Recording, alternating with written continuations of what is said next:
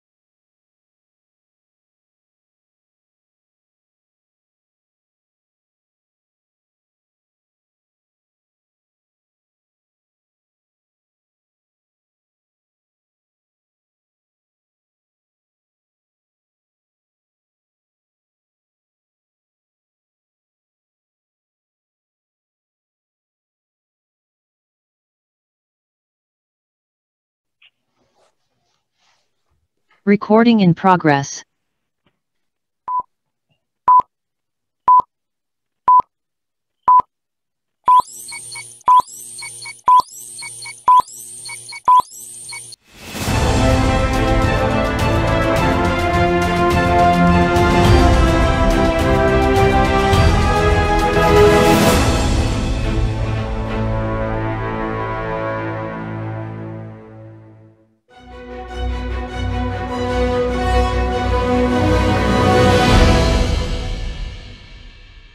Ladies and gentlemen, thank you for joining us today and welcome to our session, Panel on Globalization.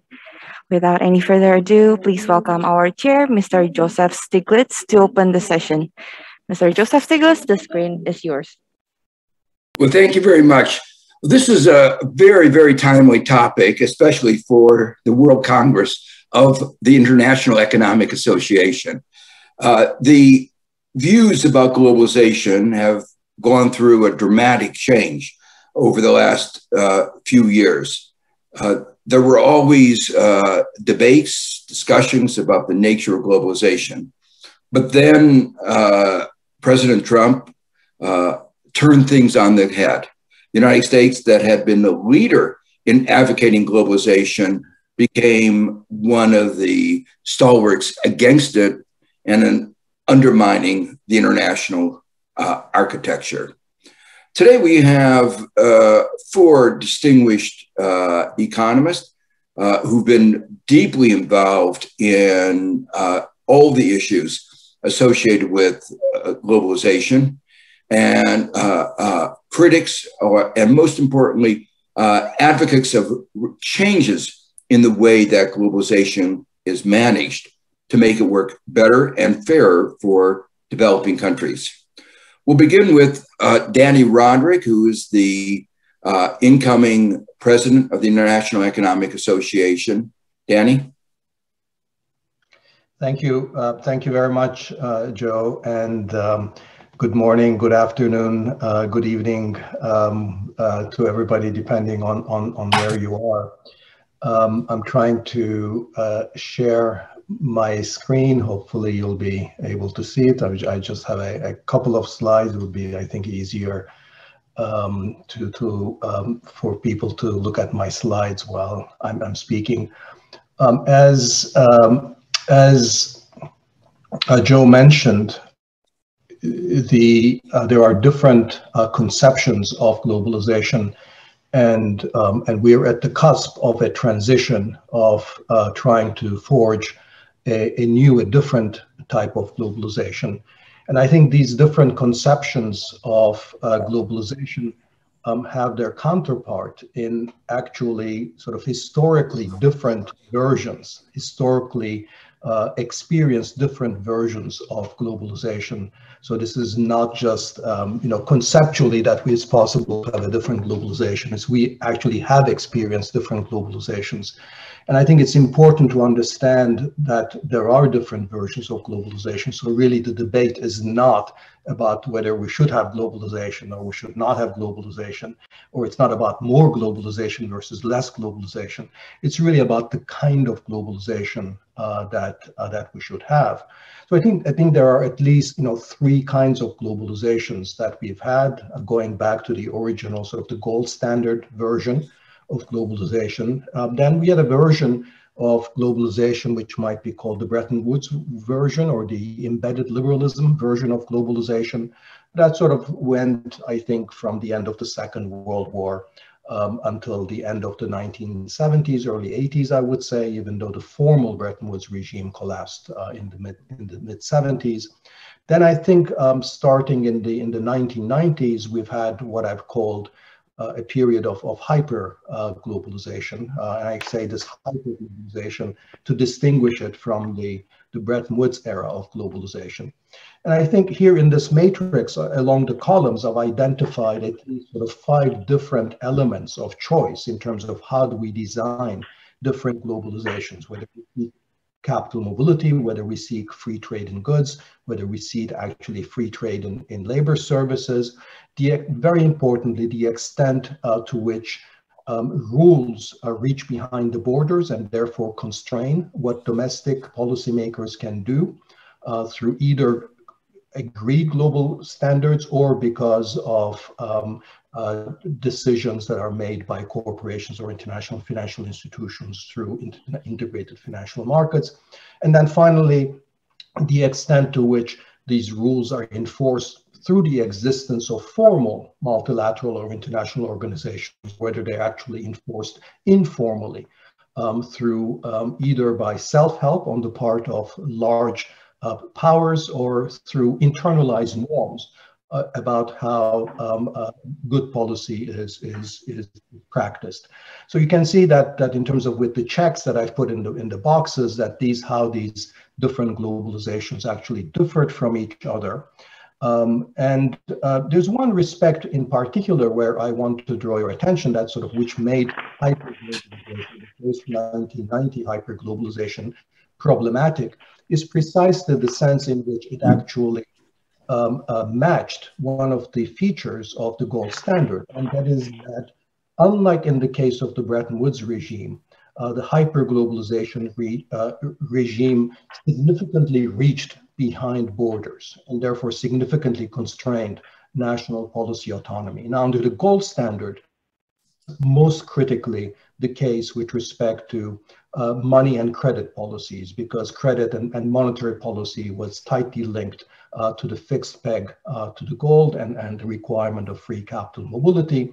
Um, the post-1990 hyperglobalization in many ways went even beyond that because of, of rules with respect to intellectual property, subsidies, services, agriculture, industrial policy, um, and uh, of course through the mobility of capital on, on, on, on, on tax policies, what you can do. In fact, um, the um, uh, just announced uh, recently uh, the tax um, uh, agreement, global tax agreement, is a kind of a, a, a, sign of trying to escape from this, from this, that, that basically trying to to uh, to impose uh, a, a, different set of rules with respect to taxes, and I'm going to come to that in a second. So the question is, how do we design the globalization of the future, understanding that we have agency, that we have um, we have we can rethink these different components.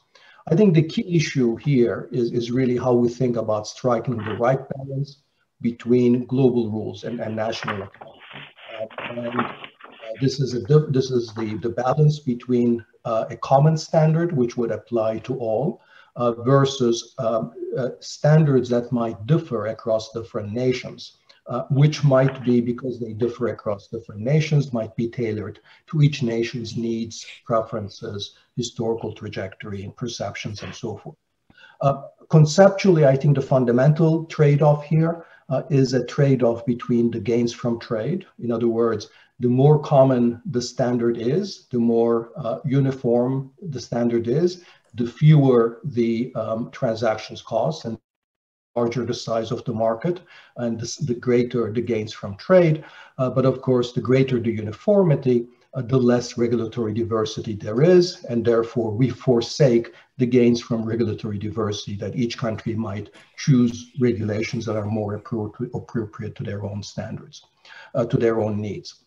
So we see this, this, um, uh, this trade-off and the need to strike right balance across the whole gamut uh, of different policy areas. Of course, with respect to corporate taxation, which is the one that is uh, the hot issue at the moment.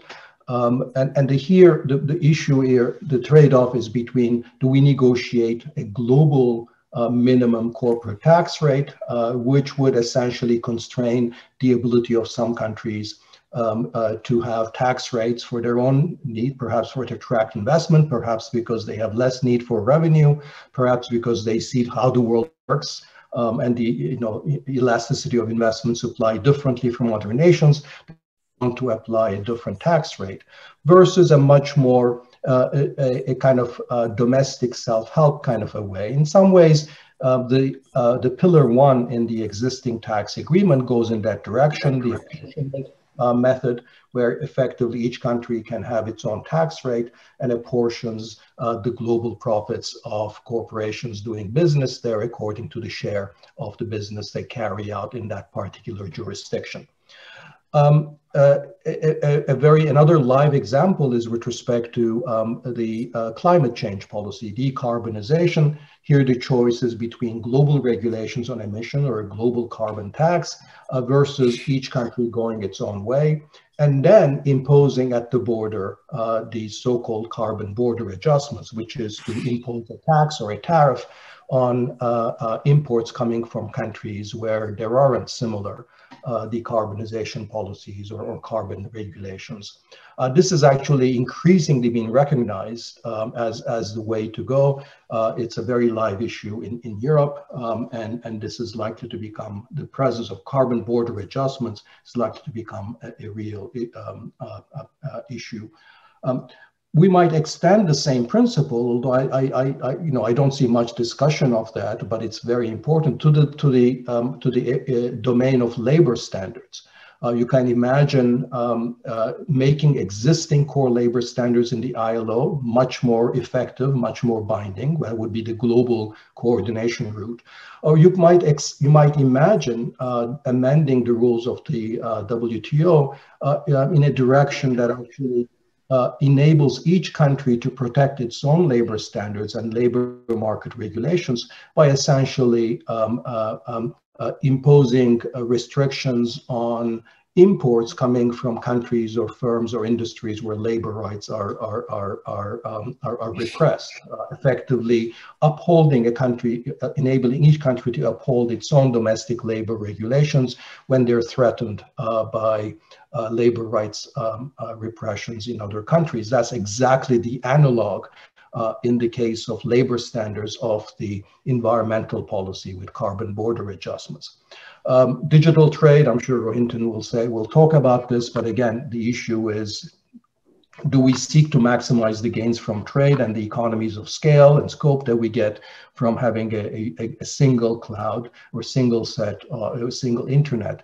Or do we have to bow uh, to the reality that different nations have different national security considerations, different privacy uh, considerations that will lead us down the path of, of different uh, national regional clouds.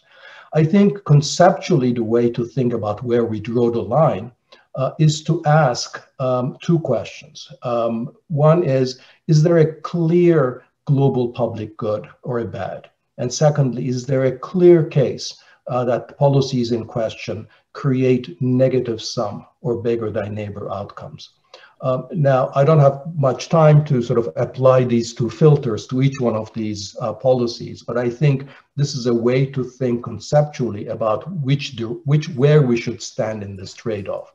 The more there is a case, widely understood, globally widely understood case uh, for a global public good or bad, the more obvious it is that individual policies uh, create a kind of a global negative sum game, uh, then the more there is an argument uh, for global coordination. The less we can make that argument, I think the more we should resort uh, to self-help or at least allow countries uh, the autonomy to have their own policies.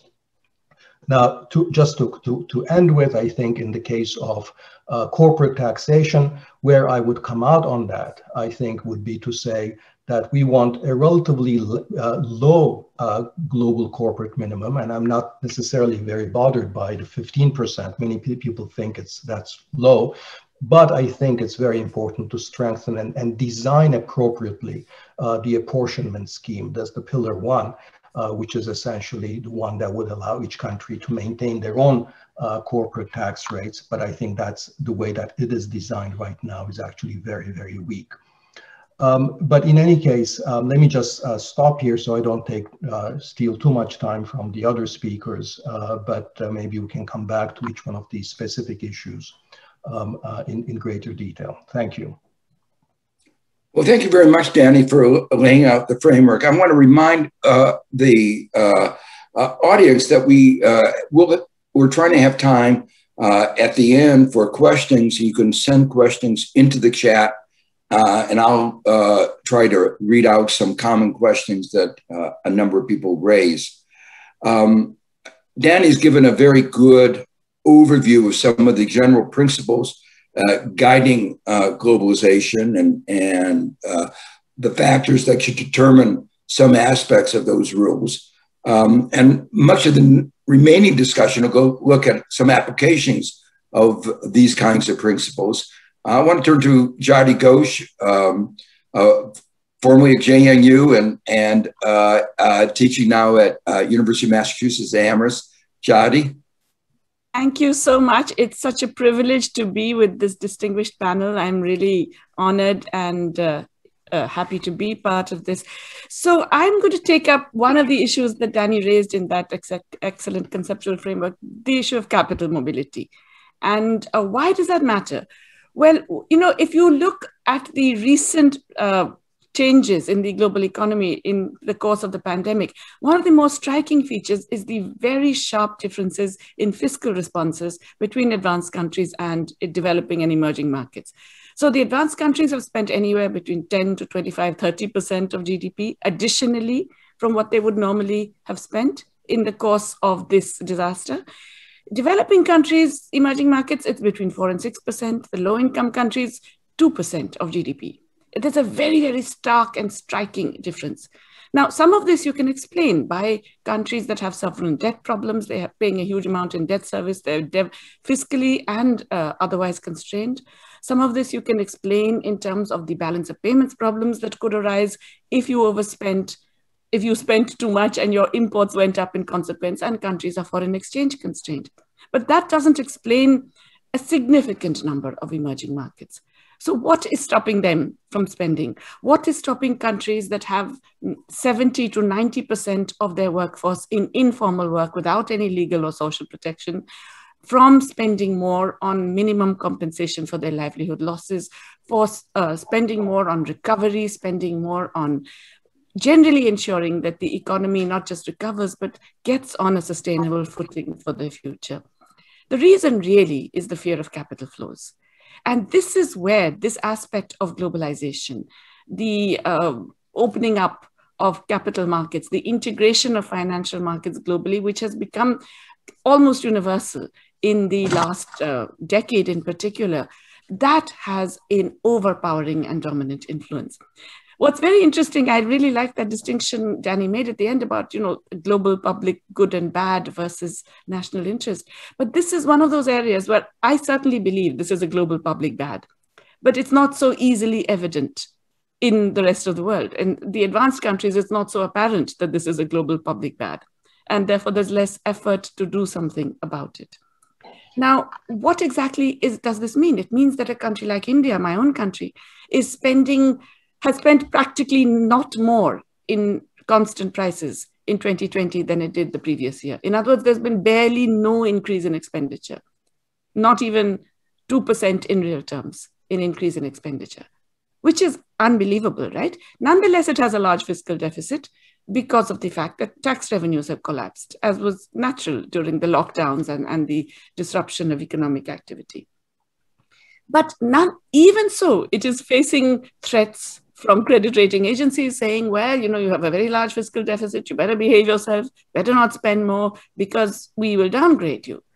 It is that fear which is restraining many governments. And this is not, I mean, India is an extreme example, but this is fairly widespread. You can see this happening in Thailand and Mexico and a number of other emerging markets as well.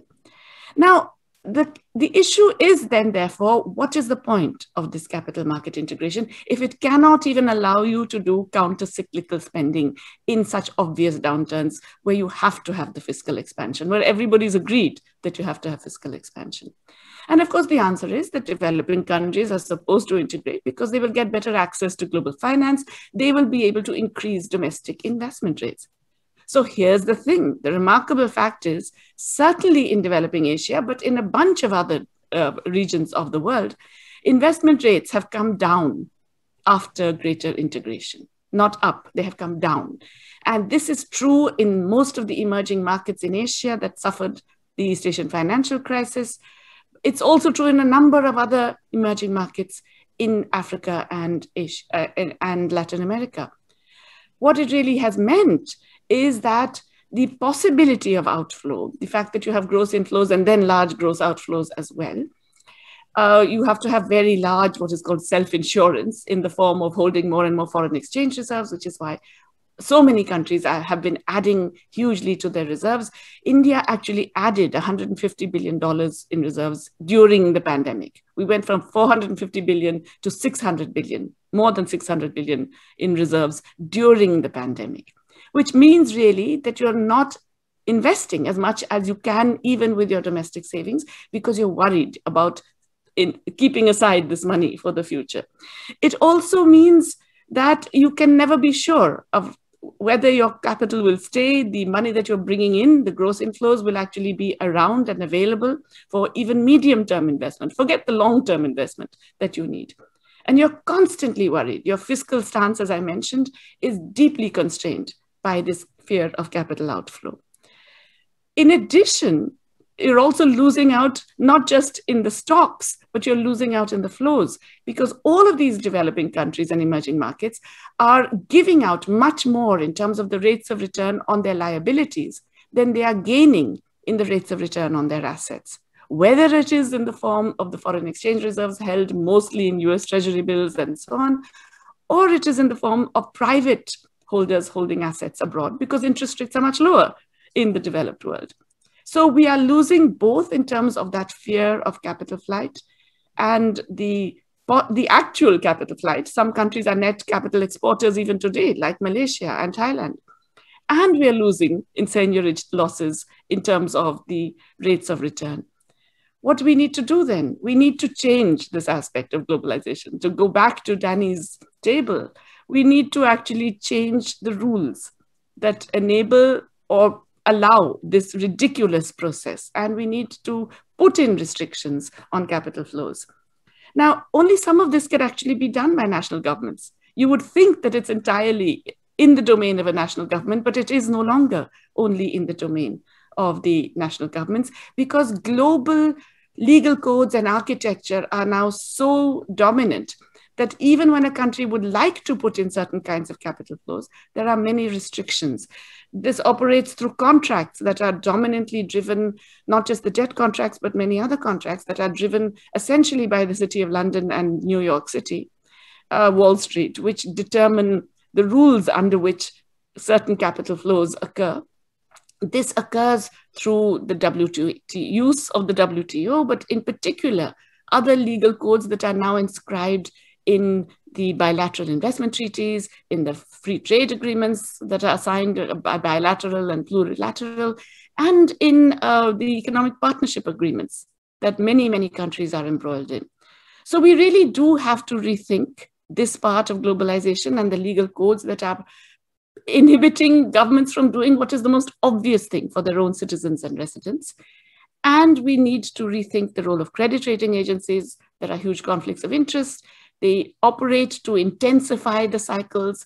We really need public alternatives that can provide a clear, uh, shall we say, disinterested, uh, viable way of people to assess uh, the way in which global investment occurs. And fundamentally, we have to rethink this aspect of globalization, which is frankly no longer fit for purpose. Thank you. Thank you very much, Jayati. Uh, next, Rohinton Medhora from CIGI. Um, go ahead, Rohinton. Thank you, Joe, and it's it's good to be back at the IEA, albeit virtually. I too would like to sort of pick up uh, from Dani's presentation and the taxonomy that, that he had of globalization and the choices it, it leaves us with. And do that from the perspective of the globalization that's ongoing, given the dominance of uh, digital data and intangibles more broadly. So Dani had an opening table, which I thought was was very useful, in which uh, the, the, the recent two uh, phases were hyperglobalization and then the question, what might the globalization of the future look like? Uh, in fact, within that era of hyperglobalization, some of us would argue that we've actually had a multi-speed globalization. And so hyperglobalization has been especially hyper in financial flows, as Jayati pointed out, and indeed in the use and spread of information and communications technologies and in transformative technologies more broadly.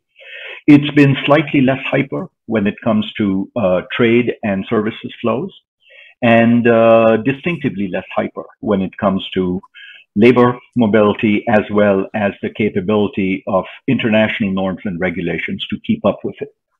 So that's what we face, in fact. And the, the tax example uh, that, that Dani gave is a very good one, in which uh, global institutions in architecture are trying to catch up to something that has run way ahead. And some of Jayati's proposals on uh, capital mobility are in the same, are in that same category, in which the horse has kind of left the barn in a great hurry, and we're now trying to figure out ways uh, to rein the horse in.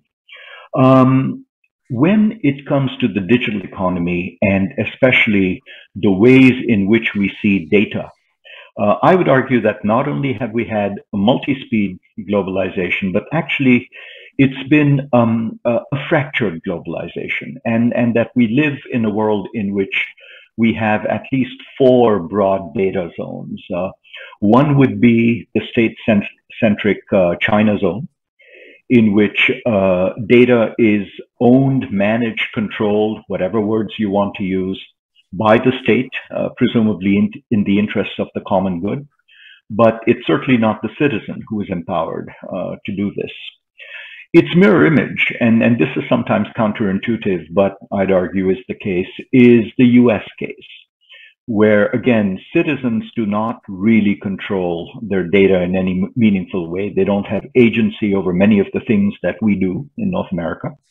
But um, it is firms, uh, big digital platforms that control, manage, and in many ways uh, represent the data age. And then you have that middle, which I think many countries uh, aspire to, that many people see as the gold standard and might well become over time the standard. And that's the European Union's GDPR zone, in which nominally at least uh, citizens control uh, have more agency over their data and even the collective uses of the data that it's that it's uh, it's put put to. And then you've got a kind of fourth zone, which is all the countries, which is to say the majority of countries in the world that don't belong to one of these three zones. And it's not as if they have sovereignty. Um, effectively, their choice is on which regime do they free ride off or which regime are they most beholden to. That is the reality of globalization when it comes to data today. We don't have a single globalization. The zones don't really talk to each other. It's difficult to claim to be a global firm anymore just because of the way in which you have to treat data, which is effectively increasingly almost a distinct factor of production among other things. And it's those other things, the non-economic dimensions of data that we have to think about. And so the first question I'd pose to us is, is this what we want? Are we, you know, all, all the folks who kind of said, you know, globalization imposes a norm that may not fit everyone. well, the data economy now gives us an option, which is this kind of balkanized globalization. Uh, and is that necessarily optimal? Um, on the assumption that it might not be, but even if it is, there's a number of things that as a global community we have to sort out. Elsewhere, um, Taylor Owen and I have argued that we almost need the equivalent of a Universal Declaration of Human Rights that deals with the ethics and norms around new technologies and around what uses or what we what we want out of data and how it should be used, gathered, and stored. There's also the question of taxation of digital platforms, which uh, with the G7 declaration were some steps towards resolving, but uh, highly imperfectly, as, as we've heard. Um, there's the question of how do we make the data zones, uh, in quotes, talk to each other? How do we create, not unlike uh, the system of national accounts that the UN created in the 1950s, a global standard around the statistics that we use so that we at least understand what we mean when we talk about different forms of the data driven or intangibles driven economy. And so that leads me to my finals of proposal uh, for discussion, which colleagues and I at CIGI have been keen on for some time, which is to say, you know, after the financial crisis, um, 12, 14 years ago, we recognized that global finance was a sector distinct from macroeconomics or monetary or development or trade and that led to the creation of the Financial Stability Forum, which then became the Financial Stability Board with slightly more teeth. Uh, I wonder if we're not at a similar stage when it comes to data, that it is distinct. It is not something you can distribute across the existing architecture. It's hard to conceive of e-commerce negotiations at the WTO, although they're happening without having a prior national understanding of what data means and whether data localization, for example, is in the national interest or not, or in whose interest it is. So there's a series of these kinds of cross-cutting issues on which we, we need almost a separate, distinct institution. Moreover, the nature of governance has changed and probably has to be multi-stakeholder. And then the Bretton Woods institutions, for all their benefits, uh, once of major drawback is that they simply represent governments at, at, in an era in which uh, civil society and private firms matter at least as much. And so the proposal is to think about something like a digital stability board that would in effect serve as the umbrella organization to create norms around data, to perhaps issue authoritative reports, and over time to enforce regulations and norms that everyone has bought into. So I will, Joe, stop at that point and look forward to the rest of the panel. Thank you very much. And our final speaker is Kaushik Basu, who is the outgoing president of the International Economic Association and has been long involved in many of these issues. Kaushik? Joe, thank you very much. Uh, thank you, um, uh, all of you, uh, Dani, Jayati, uh, Rohinton. Um, I, I, want to start from something very topical and immediate concern, but I'm going to get back to the kinds of matters that all of you have touched on a little bit from my perspective and my own research interests. What will happen to globalization given what we have gone through over the last year and a half, uh, nearly two years? I, am referring, of course, to COVID 19. Uh, there has been talk of deglobalization. Emmanuel Macron made a famous statement saying that globalization the way we know it is coming to an end. It'll be different. Um, is that really uh, going to be the case that there is going to be deglobalization?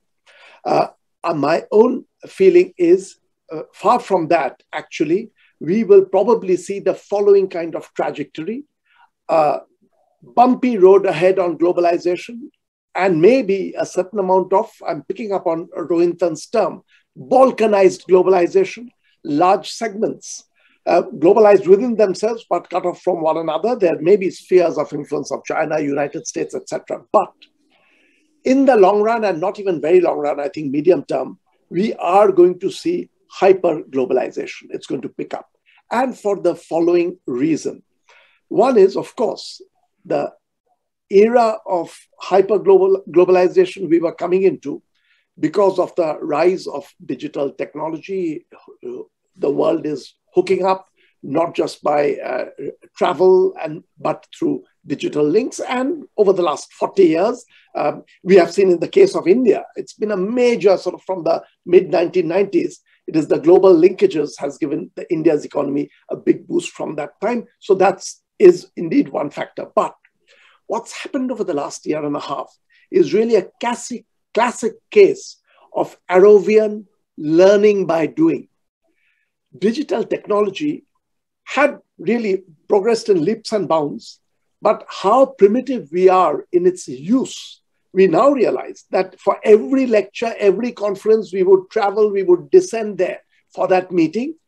And now we've all become comfortable just sitting in wherever you are, linking up uh, and, and do, doing your job. This is the technology which was already there. The COVID 19 is an exercise in learning by doing for the world for a year and a half. And I think this is going to have enormous effects from just lectures and meetings, the kinds that we are engaged in. I think there's going to be a huge amount that will take this form, but also things that were taking place earlier, outsourcing.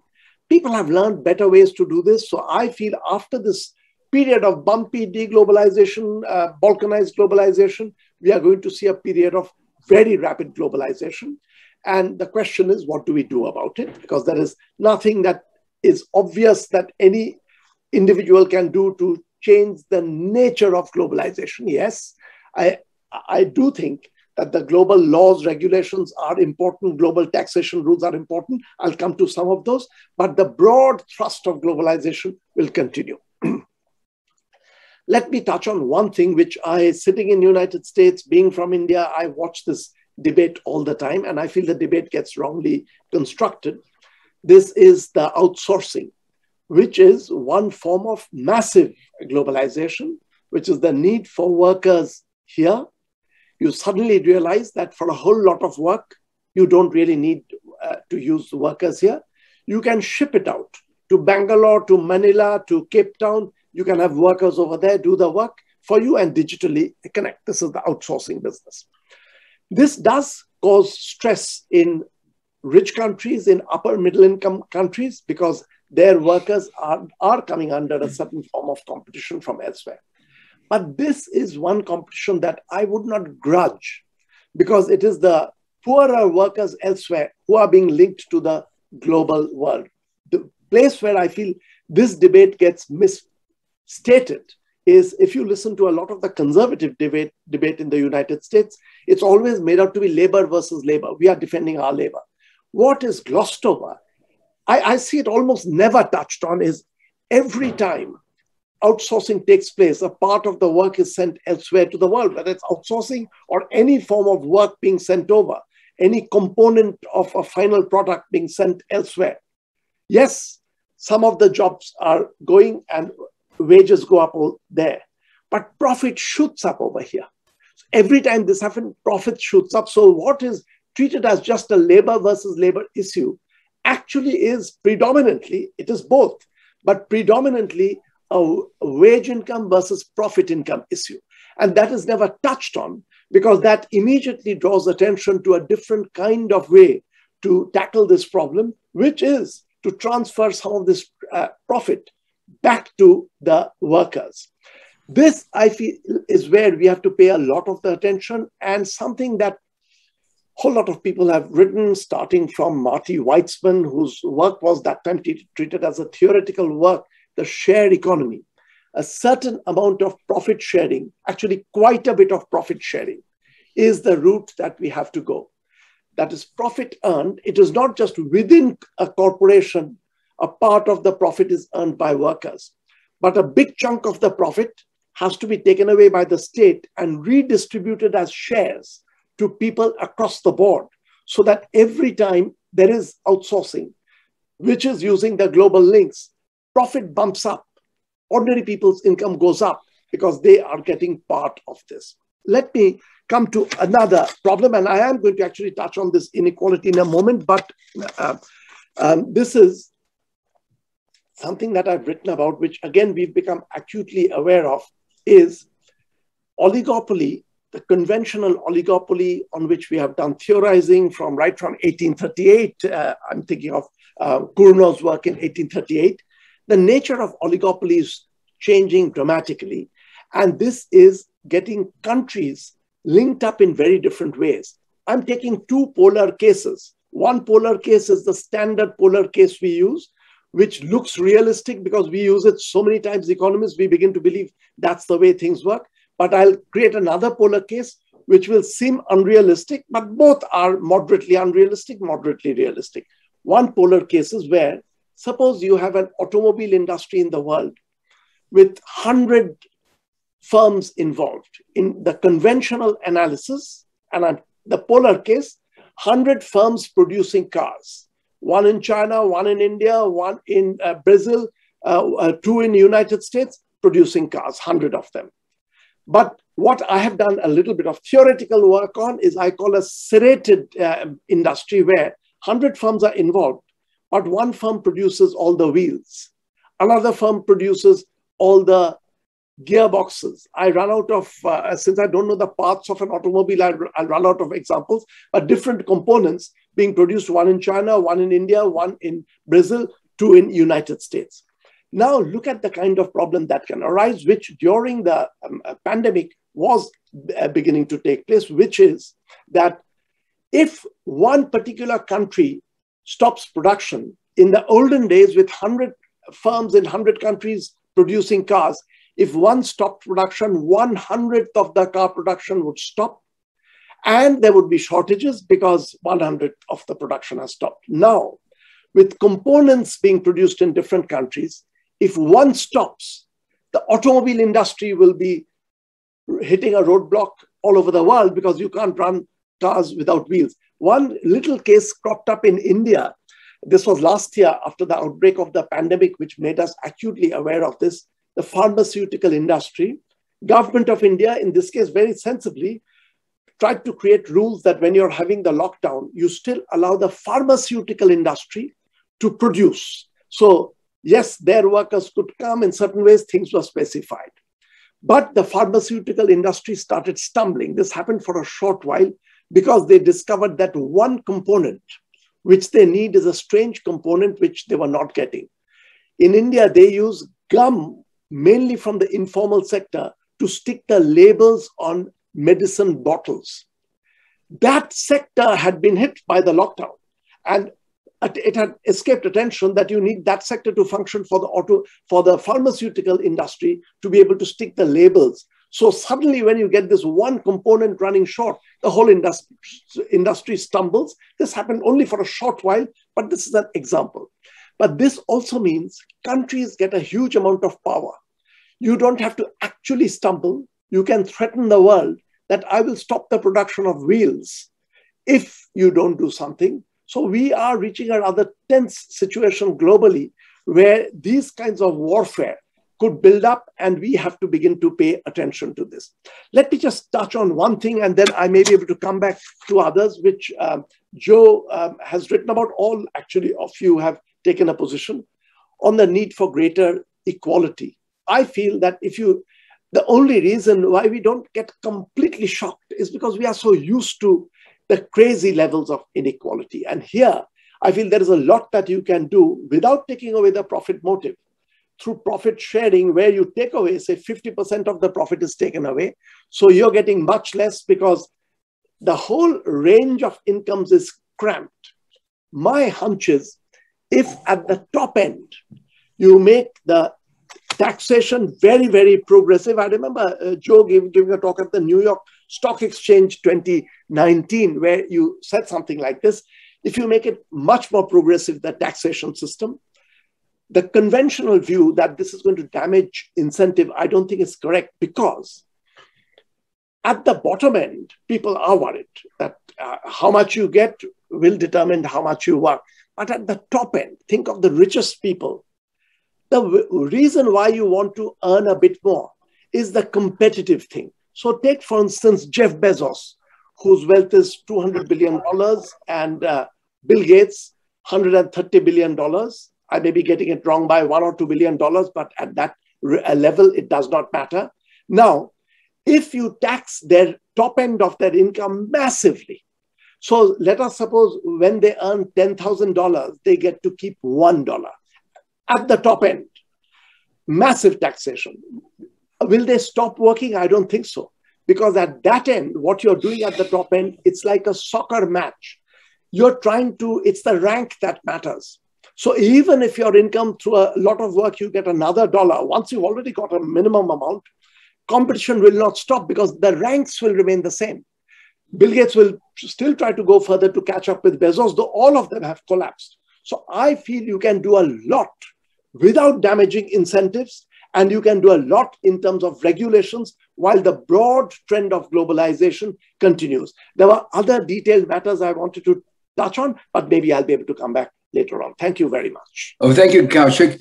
Um, I want to begin the discussion on a number of questions about trying to forecast where globalization is going to go.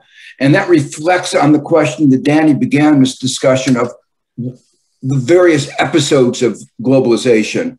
And I want to put forward a, a, a couple of alternative hypotheses uh, that uh, help explain uh, the changes and maybe each of you could reflect on, on how you evaluate this and how in the areas that you've just uh, talked about, uh, it, it, it, helps shape uh, your thoughts about where things are going. One of the explanations of the change in globalization is the change in production, uh, structure of production and technology. Obviously, that was very important for Rohinton. Uh, we didn't have a data technology uh, issue 50 years ago, but we do today. But you know, 100 years ago, we were trading uh, commodities. 50 years ago, we were trading manufactured goods. We've moved into a service sector economy. Many things are less global. There's a natural less globalization in the service sector economy. Some people hypothesize than in manufacturing. So that's one possible explanation. There's another possible explanation has to having to do with power relationships that uh, power relationships both within and between countries. When you had a dominant power like the United States, it was in its interest to promote globalization. You had colonialism, a kind of globalization.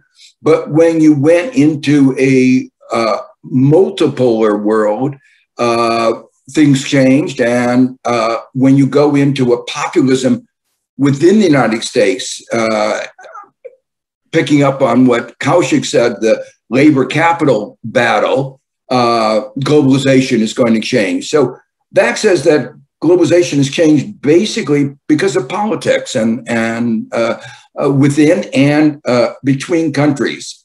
A particular manifestation of that difference is uh, a, a, reflection of uh, Francis Fukuyama's end of history, uh, in the era of hyperglobalization, there was this notion that uh, we would all be liberal democracies and and market economies, and that globalization would accelerate this convergence. Nobody believes that anymore, and globalization in a world split with uh, different economic, political systems, and values is going to be much more difficult.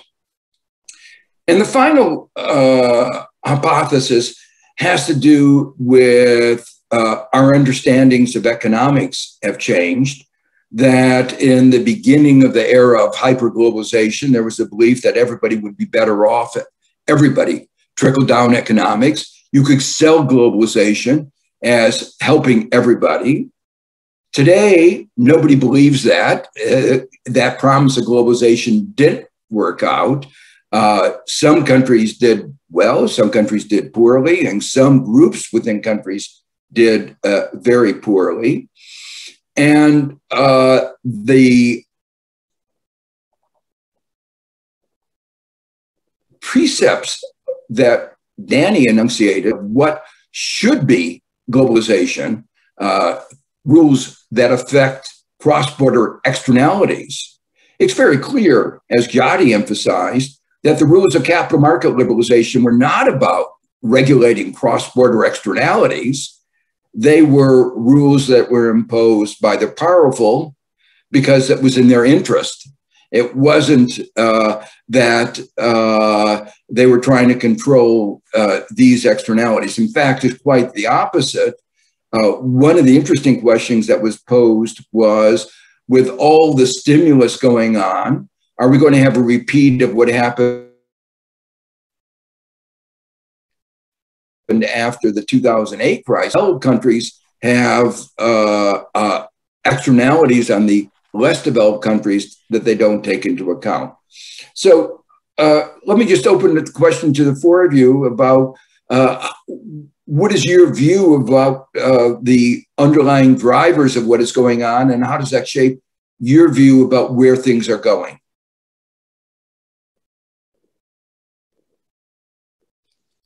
Dani, you want to begin? Sure. Uh, yeah, I mean, I think there's two things that's driving the um, uh, um, the immediate future. One is uh, the the U.S.-China geopolitical competition, which I think is going to color everything that happens with respect to uh, the future of global supply chains, the future of digital trade, um, uh, the future of high tech high tech trade.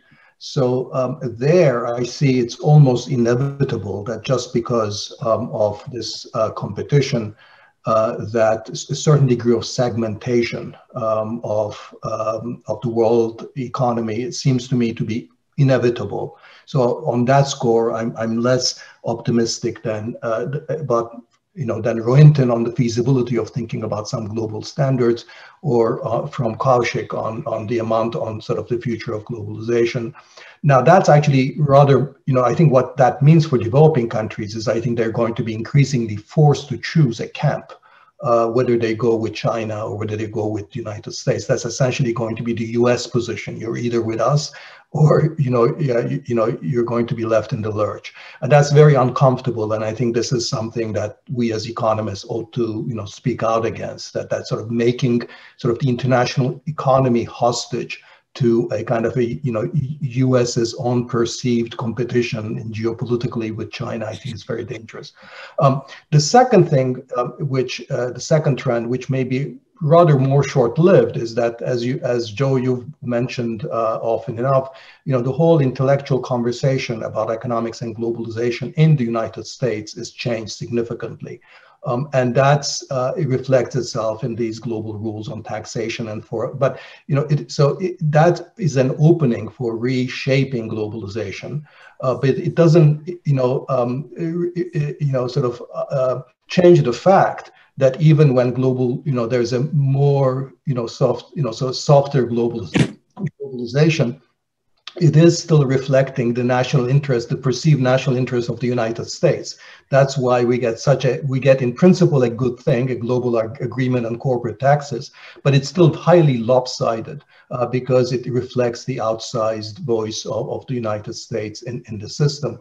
Um, so, you know, the, the, the, trouble with global rules is, is not just that you get, you know, the global, the powerful countries writing the rules. It's more that, you know, powerful powerful interests within powerful countries write the rules. And I, and I think you know that's been the, the problem with hyperglobalization more than US power in some sense. So there's a rebalancing that's going on in the United States, but I think it's only partial and, and perhaps it'll be short term. But I think I see that as the second uh, driver. Can I come in as well, Joe? Yeah. I, I, I pick up where, again, Dani led off by, by asking ourselves, what is the driver of the digital economy? What are the main characteristics of this kind of economy? And uh, I'd suggest that it is driven by technology and by intellectual property, which is mostly, almost entirely proprietary. And so we're now in an era in which um, uh, rents uh, created by the artificial monopoly of, uh, of IP are what create the wealth for a few. And the few could be a few parts of the globe, but also few people within uh, those few parts of the globe. Um, arguably, especially with data, it tends to generate natural monopolies. The more data you have, uh, the bigger you are, the bigger you are and more data you have, the better your product, therefore more consumers. And so it creates a cycle of natural monopoly. And yes, there is a competitive ecosystem around the digital platforms, but there's no question that what's driving all of that is a highly uh, monopolistic structure. And that actually connects with the point Dani made about US China. I think it's it might be somewhat simplistic but not inaccurate to suggest that some of the a lot of the US China rivalry is driven by the fact that both see this uh, wealth creation as, as a bit of a zero sum game. Zero sum game economically, but also in terms of influence and social values and political systems. Um, and, and, and that's not just uh, out there. If you look at the composition of the S&P 500 20 years ago, intangibles, which are not the same as data, they're slightly, they cover slightly different things, but mostly representative of digital and data, accounted for about two thirds of the value of firms on the S&P 500. Today, it's 85%. So there's no question that the nature of wealth is being driven by a set of intangibles led by IP, uh, led by branding, led by data. And this is creating behaviors, first mover advantage, strategic behavior, which is actually driving globalization. And so I take Kaushik's point about uh, taxation and the changing nature of taxation quite seriously. I think we should be thinking much more about moving away from consumption-based taxes, which have sort of driven public finance policy for the last three or four decades back towards profits taxes, wealth taxes of different kinds, and then the public provision of various kinds of systems. I can see that, conceive of that nationally. I'm afraid I still don't conceive of that internationally for the global public goods we require. So in that sense, I'm not as optimistic as Dani might think. But we do need to understand this wealth creation uh, structure to think about what next with globalization. Let me ask, uh, in the last few minutes, uh, uh, uh, ask another question that's related. Um, uh, the most important global public good right now is controlling uh, the pandemic. Um, another very important public good, global public good, is climate change. And in both of those areas, we need uh, high levels of cooperation. But focusing for a moment on the pandemic, the critical rules that, that were, have been talked about are the intellectual property rules. And uh, the question is are those rules being written in ways that promote societal well being, general welfare, or do they reflect power relationships? And we're having a test of that right now because of the debate over the vaccine waiver at the WTO, where the basic rules have been written already that say that there is uh, the right to have compulsory licenses.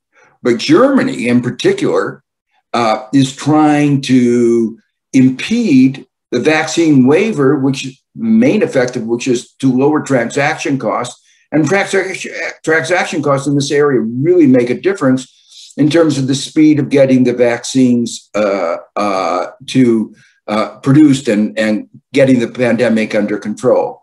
You want to reflect on how what's going on in the pandemic reflects uh, the kind of debate that we've been discussion we've been having on the nature of globalization. Could I could I come in on that, Joe? Sure, Jayati. So, you know, I'm so happy you raised this point because as you have, uh, you know, continuously made this point over and over again about the issue of intellectual property and and the issue of vaccines, of course, it reflects global power relations. Of course, it re reflects the power of a few types of very big companies, pharma, finance, you know, certain kinds of uh, uh, other digital companies and so on, to not just preserve their monopoly, but extend it and uh, into many other areas, and that this is extremely counterproductive, and it's obviously a global public bad. I think in in, in that sense. I don't think we realize fully what impact this is going to have on at least the need, medium term of globalization. And I, I mean this quite seriously. Across Africa, there is now a recognition that there is no point in having any expectations from the G7 Let's, let's just put it frankly, because they don't deliver. Every vaccine that has been administered in Africa has been purchased. despite a supposed COVAX facility. They are not being given the knowledge to produce it themselves. They are not being given the capacity to buy. They have been sort of uh, beaten at the post by the big countries that jumped the queue and bought up vaccines way in excess of their own requirement. And this is leading to continuous waves of the pandemic, which they, they have no idea when they will finally get out of. This is leading to demands across the continent for much more significant industrial policy and generation of knowledge. The kind of thing China realized 20 years ago and got moving on is now, I think, very, very strong. So in a way, you know, this issue of the two camps, I think it's absolutely true. You know, countries will be asked to choose. But why would countries choose a grouping that doesn't really offer you anything? Which says, well, you know, you have to go by our rules, but you will lose because you will have very volatile capital flows. You will lose because you will have seigniorage losses. You will lose because in periods of crisis, we are not going to offer you any support. And we will grab whatever is available of the thing that can stop the pandemic, and we will not allow you the knowledge that will enable you to produce more of it. So I think there is a real sense in which what has happened in the last one and a half years is going to color certain countries' attitude to globalization. And whether that plays out into a much longer dynamic, I don't know. But I think we're definitely going to see this in the next few years. Let me ask one final question um, what, that come across the uh, chat, uh, and it's related to the, uh, what you just said, uh, Jayati. Um, how should African countries, and obviously there are a lot of differences in, in different African countries, how should they relate to uh, globalization? Uh, one of the issues, for instance, to go back to the tax issue that Dani talked about, Nigeria has expressed uh, some reservations about some certain aspects of uh, the tax agreement, including, uh, I believe, in particular, the arbitration, mandatory arbitration of disputes. Uh, how should they respond to the pressure that they will be put under, both to join one camp or another, or to sign up to rules that may not be in their best interest? Rohinton, you've been involved a lot in African and Kaushik? I, I mean, I'd, I'd begin where Celestine uh, also, which is that there is no single uh, Africa. I think it is a country by country choice. Uh, in many parts of Africa, that, that battle for influence might be in some ways lost uh, with the advent of China. I thought uh, the gains India was making with its soft power approach were kind of lost in the frankly debacle over vaccine supply in, in the last few weeks and months. And at the end of the day, um, uh, the one opportunity that the digital economy holds for Africa is actually two. One is location no longer matters. And the second is the series of raw materials uh, and, and various essential goods that, that Africa contains uh, for the digital economy to continue. And so the question for Africa is what affords it the best uh, opportunity for development, given that most of the technology that is now coming to play is going to be truly labor saving. And so the, the model we've had after the industrial revolution of getting in at the bottom of the uh, value chain and then moving up is probably not open. And so some combination of wealth creation and wealth capture is what's going to drive African uh, development uh, economies for some time. And whichever model provides those two, uh, I mean, I hope it's not the the way as stark as Jayati puts it, but if it is, then choices for many countries would be frankly clear. So can I just jump in on um, actually on the vaccine market? I have rather detailed views. There isn't time to go into. I feel we are handling it very poorly and really need to do it differently. But I want to make a general point, which um, uh, all of you, Dani, just now mentioned about um, if the world, the main tension point becomes that there are two superpowers and the world is it's balkanized uh, because there's a movement of capital and things like that within each, but two parts. And people are uh, small countries, African, sub-Saharan African countries, uh, countries all over the world are given a choice. You're either with us or with them. One thing that we need to be aware of, and I think this will be an alarming world, because really there won't be that choice. It will be the two big powers that will try to say, you are with us, and the other one will say, you are with us. And we've seen that historically. Countries will get caught in being pulled into EU. You will not have that space for deciding which bloc you belong to. So I feel it's going to be a dreadful world if it is really two powers trying to consolidate their space. And this is the time when we ought to get the, from ordinary thinkers to people should get active in the space of what kind of a world do we want and the world that we are heading towards can really be dangerous if it is just two poles that are trying to carve out their own space. Let me ask one question. Uh, we have, it seems that we have a little more time, and that is one aspect of globalization uh, that uh, everybody was uh, emphasized before was uh, the efficiency of global supply chains. And one of the things that came out in the pandemic was that these seemingly efficient global supply chains were not very resilient. How do you think about that? Is, is this uh, a time leading to more onshoring? Is it a result of not learning the lesson of 2008 that uh, it's important to manage risk, and the private sector is a very bad manager of risk, and there's going to be a need for more government oversight of global supply chains. Uh, any reaction to to uh, that important aspect of globalization?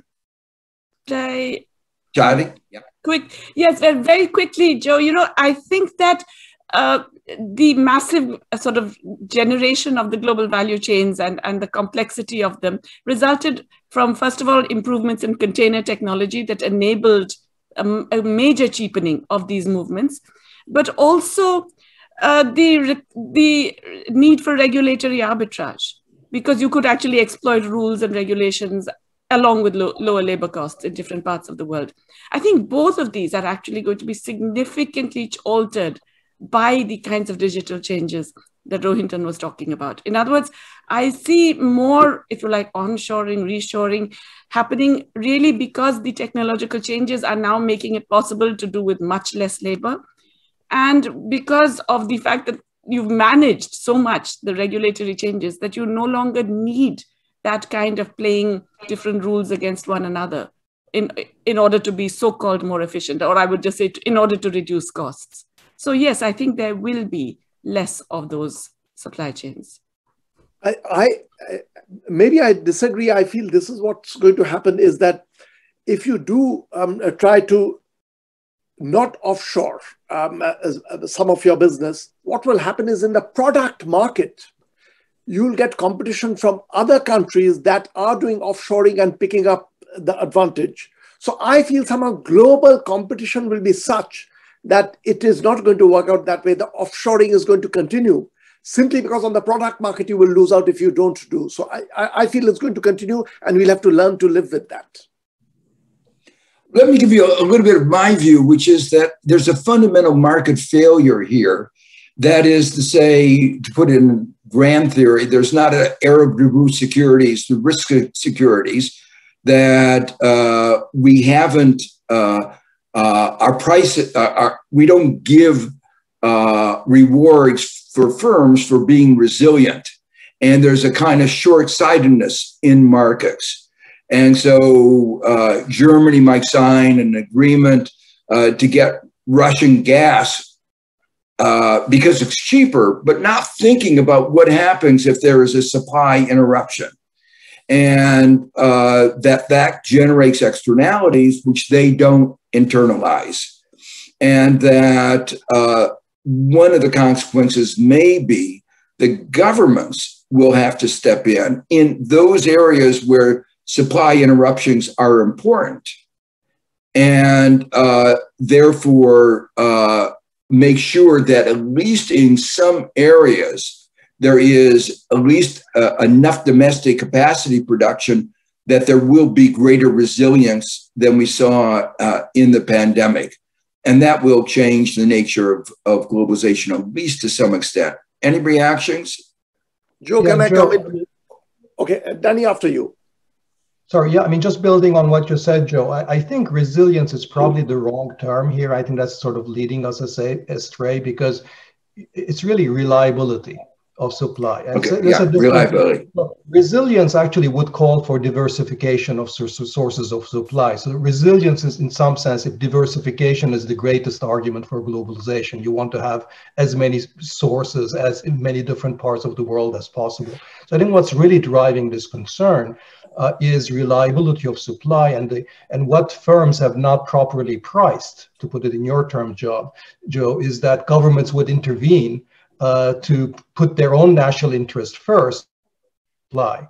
Um, and and that's exactly what we're now seeing with you know governments essentially investing, at least in the United States, investing in building up domestic supply chains uh, to essentially fix that uh, that that problem. Now you might say now that firms have seen it, they will uh, you know, they'll price that risk, but of course they won't once things go back to normal, uh, which is why um, I think it's very important what the United States is doing.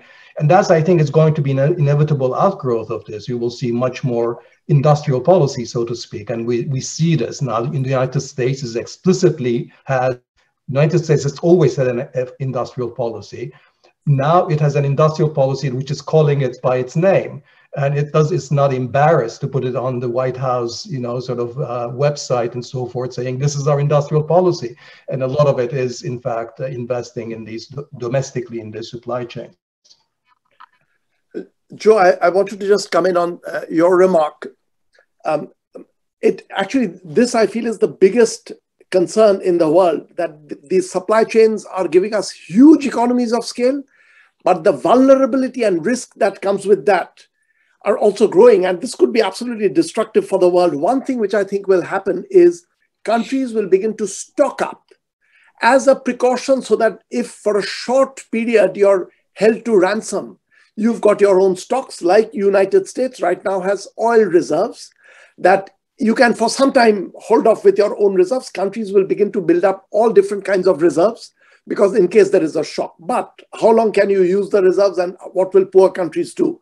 So ultimately, what you do need, this is one area where some kind of global governance that you can't hold another country to ransom by suddenly in, uh, disrupting the supply chain is the way we will go. Because not using these to internalize supply chains, even if a couple of big countries can do that, for a whole lot of countries in the world, it's impossible. The economies of scale are too big for the country to produce all different components within this. So we will have to live with this, but we need to change the rules of the game for this to be viable. I'm not I'm not endlessly optimistic, so I don't know whether we will succeed in doing that. Maybe not. So the last question I think we'll have time for it, has to do with these uh, global externalities as the rationale for uh, uh, cross-border rules. Um, they, um, you know, as, as I look through various uh, rules that have been adopted, uh, it's striking to me how few of them are actually directed at cross-border externality and how many of them are really directed at, you might say, redistributive power relationships. So let me give you an example. The one that Jayati talked about, about capital market liberalization. Hard to say that that was driven, the attempt by the IMF to, uh, in earlier days, to force countries to liberalize the capital market. It wasn't an externality. Um, the European rules on deficits and debts, those limits, uh, hard to justify in terms of cross border macro externalities. But the really important externality, which was robbing taxes of your neighbor, which is what we see in the race to the bottom in corporate income tax, Lux, Ireland and Luxembourg, Luxembourg. They didn't deal with that cross border externality uh, in the design of the EU.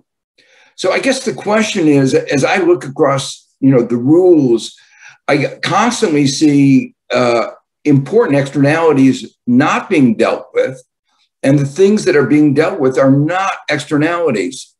Um, a- am I wrong about that? And, and what do we do about that?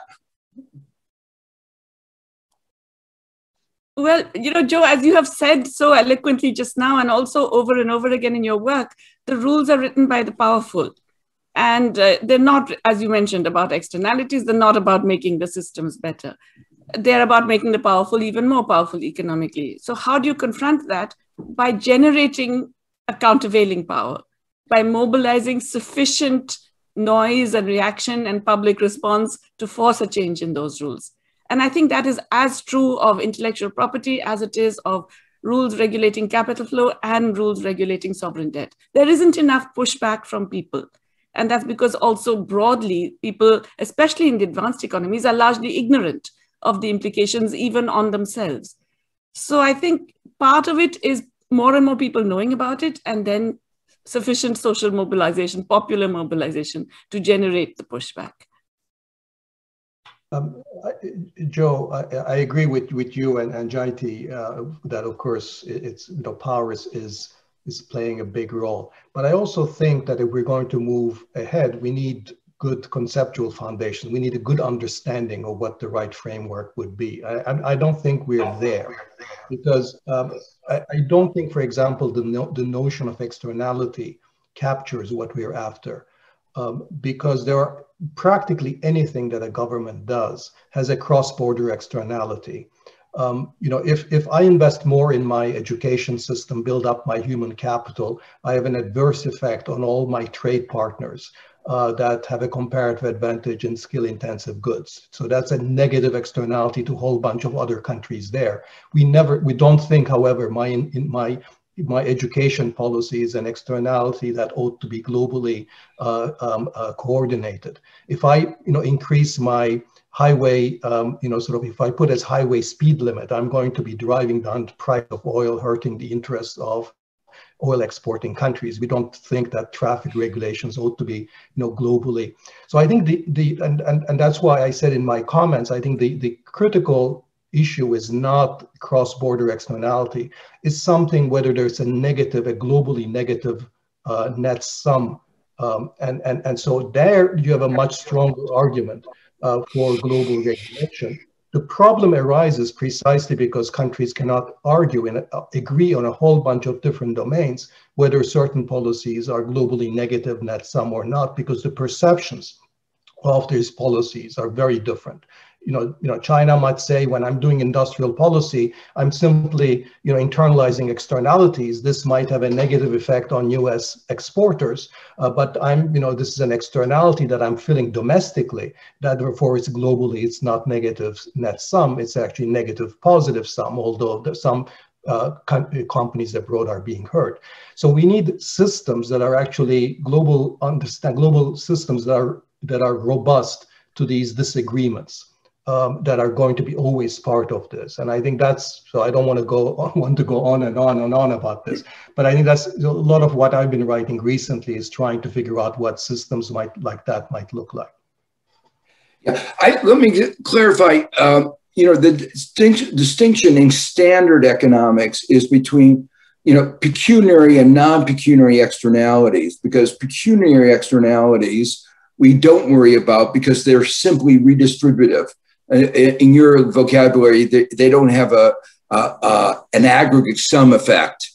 But one of the things when you go out of the Arrow-Debreu first best world, even pecuniary externalities can have zero uh, aggregate sum effects. That was uh, the Greenwald-Stiglitz theorem about how with uh, imperfect uh, and asymmetric information and complete risk markets, even pecuniary externalities can have uh, aggregate uh, effects. And I, I, think you're right. What we're trying to do is assess not only where those aggregate effects, but where they're potentially significant and where there are potentially significant distributive uh, effects as, as well uh, that can be adverse to certain uh, weaker countries.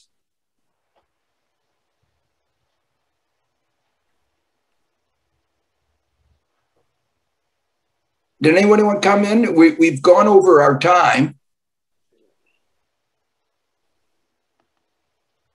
Well, let me thank you all. I think this has been a highly enlightening. There, there are so many topics in globalization. We haven't covered all of them, but I think we've covered some of the most important and some of the uh, newer topics, uh, including uh, digital re- regulation, digital, the, the changing geopolitics, uh, the new views on uh, uh, globalization that are emerging, the consequences of the pandemic.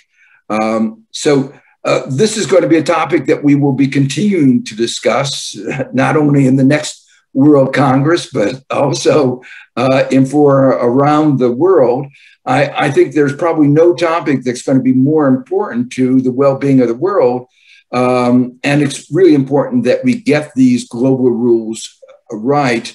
Um, and it's important both for global growth, but also for uh, global equity and within countries and, and between countries. So thank you all for joining us.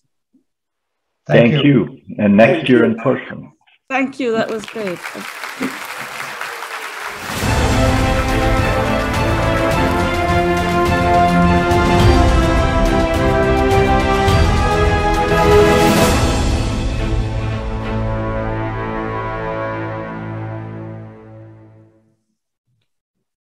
So, Joe, has the recording stopped?